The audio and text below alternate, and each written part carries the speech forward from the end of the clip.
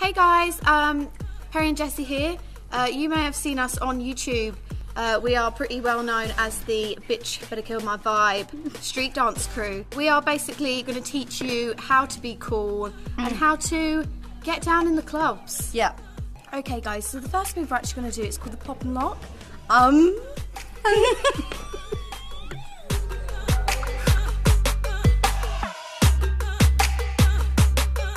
Step one, pop and lock. Raise your arms.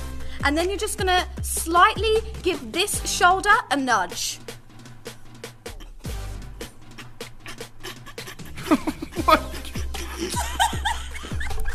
Oh my god.